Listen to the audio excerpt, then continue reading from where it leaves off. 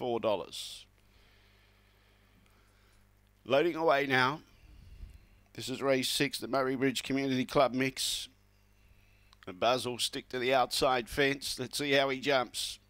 Green light goes on. No more bets. We're set to go. Ready?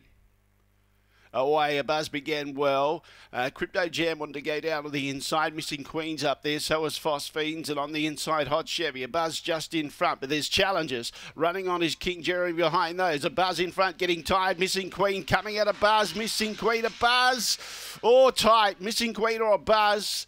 Uh, look, uh, Hot Chevy and King Jeremy not far behind those, and Phosphines in the mix as well for the minor placings. And Crypto Jam was near the tail end of the field. This one goes down to the judge. It's a tight one. 449. A buzz has got there. Number eight, a buzz has held on. Has held off the, the late challenge of Missing Queen, or the strong challenge. Eight beats four. Number two, Phosphines will hold on for third prize as well.